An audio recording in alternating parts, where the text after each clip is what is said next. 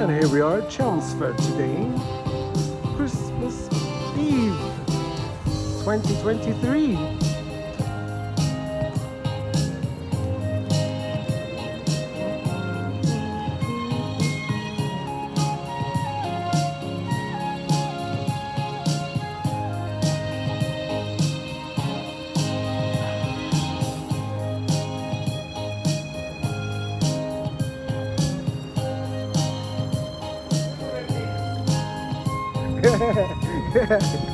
Wiggly!